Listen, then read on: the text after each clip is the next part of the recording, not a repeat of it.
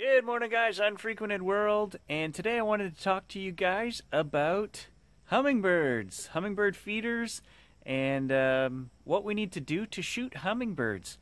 Uh, a lot of people try and are unsuccessful, and I'll show you guys um, some images I've captured, um, some of the settings we use on the camera, and um, just a few tips about the hummingbirds themselves. So this is one of the feeders I use, guys, and you'll notice that the actual glass itself is red, um, not the liquid inside. The liquid that I put in here is clear, and uh, all the liquid is is sugar water. So one cup of boiling water to a quarter cup of sugar, and uh, you stir it in while it's hot. That uh, dissolves the sugar, and let it cool, and then you put it in the feeders. It needs to be changed every four days at the most because once it goes bad, the hummingbirds will uh, stop coming. They'll take a drink, they'll say, "Ugh, God, no," and they just stop coming. So you want to make sure you stay on top of changing it. And uh, you don't need to buy put food coloring in there; it's not good for them. You just get a nice colored glass like this. I got this on Amazon for 20 bucks, guys. It's got the brass fitting on the bottom. It just screws in and rinse it. So every time you change the hummingbird juice, uh, I just give it a really good rinse uh, in the sink to get rid of any ants or spider webs, bugs, um, you know, anything. If there is bacteria that if you've forgotten and it's been sitting in the sun for two weeks and you haven't changed it, there will be bacteria in here.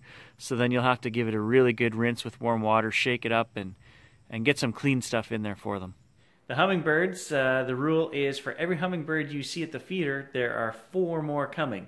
So multiply whatever number you see at the feeder times four. I've seen three at my feeder at one time, so I know theoretically, if using this rule, there are 12 hummingbirds using my feeder. So anyway, check out these photos, guys.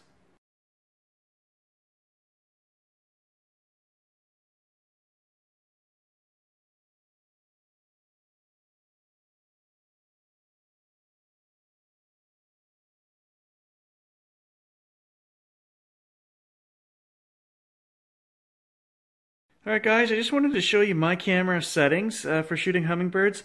I use a minimum of 1250 shutter speed. If you want to try to freeze a hummingbird's wings, that's the minimum that you need. Um, we don't have very good light today, so I've had to bump my ISO up to 3200 to achieve that. I shoot my camera on uh, manual mode, so I have full control over aperture, shutter, ISO, all that at, at any time.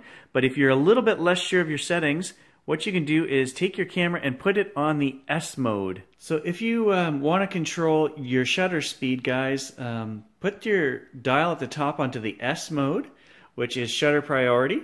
Then whatever you set your um, shutter speed to, you turn your dial or however you guys set it on your camera.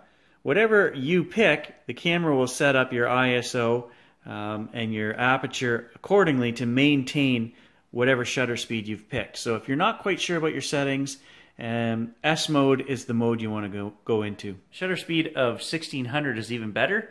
If you can achieve it on gray days like today, it's really hard. You need a top of the line camera like the Sony a7R III, which has really good ISO settings on it, and you'd have to bump that up to probably 4000 or 5000 to get a 1600 shutter speed today. Um, but that's I prefer 1600 uh, as my normal shooting for hummingbirds, but I will use 1250 uh, if I have to. Some of the other settings I use, guys, are autofocus C. You want to be able to continually focus, and I'm using a center focus area. So there's a little patch right in the middle. That little box is all I'm going to be using for focus, and the C means it will continually focus as the birds are moving in and out. They're very fast, very hard to shoot. So the other thing I do is I also pick my high continuous shooting mode. So when I push the shutter button, I'm going to knock out 15 shots here uh, per second or whatever your camera will do. And that's what you want. Get as many shots as you can because these guys are extremely quick. Hummingbirds are one of the toughest, fastest shooting things that you can uh, try to capture. So don't get hard on yourself.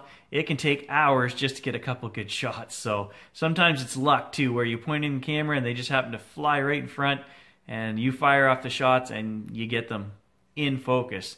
That's the hard part, guys, is the cameras, the equipment, even with top end gear, uh, it doesn't focus fast enough for these guys. They have to kind of hover for a second or two to capture them. So, anyway, those are my tips, my shooting uh, settings for hummingbirds, and I'll leave you guys with a few more shots that I've captured over the years of hummingbirds.